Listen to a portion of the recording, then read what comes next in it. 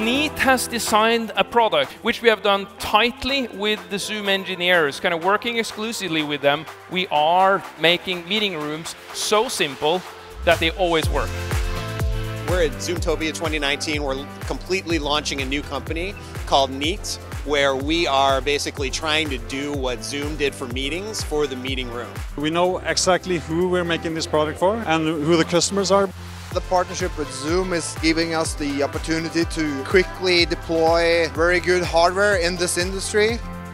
So what we're doing is really putting together the excellent software team of Zoom with our world-class hardware design team to deliver simple, reliable video systems for Zoom.